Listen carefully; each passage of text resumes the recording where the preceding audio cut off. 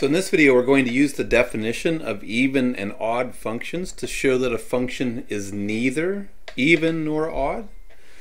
So we have a function f of x equals x cubed minus 4x squared. We want to demonstrate that it is neither even nor odd. So what we need to recall is that when we test for even functions, we are testing to see whether f of the opposite of x equals f of x. And if we're testing for an odd function, we're testing to see whether f of opposite of x equals the opposite of f of x.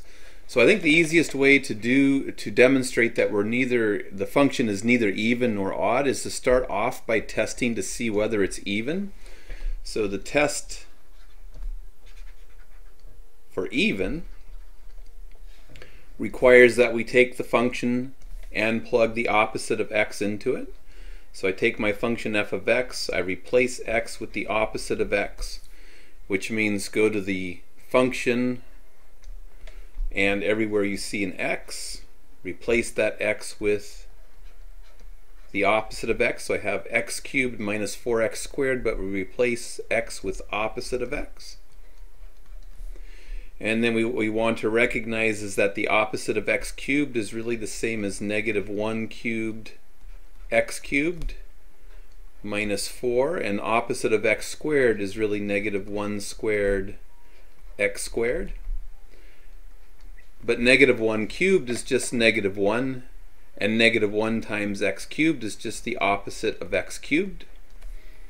And then we have negative 1 squared is positive 1, so we get minus 4 times 1 is 4 x squared. And at this point, we've simplified as much as we can uh, with regards to the negation that we introduced into the function.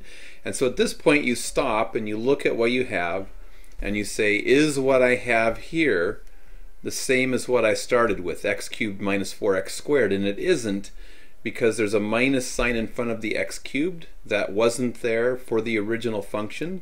So at this point, you can draw the conclusion that because f of the opposite of x equals negative x cubed minus 4x squared, we can draw the conclusion that f of opposite of x does not equal f of x. It differs by that negation in front of the x cubed. and then we can draw a conclusion from this statement. We can say, so f of x is not even because f of x, sorry, f of the opposite of x isn't the same as f of x. And then what we want to do is pick up with our previous work and we want to factor that negative sign out and see if we get the opposite of f of x. So by our previous work, now pick up at this last step. By our previous work, we've already shown that f of opposite of x is the opposite of x cubed minus 4x squared. So go ahead and do the test for odd by factoring the negation off. The simplification's already been done.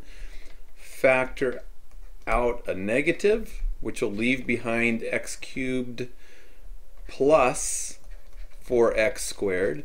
And then we stop and we look at this and we say, is this the same as f of x? And in this case, we see that it's not because we have a plus here, whereas there was a minus in the original.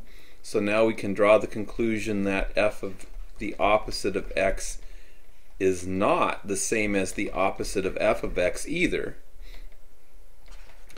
So we can draw a conclusion from that. So f of the opposite of x sorry, f of x. So f of x, the original function is not odd because f of the opposite of x does not equal the opposite of f of x.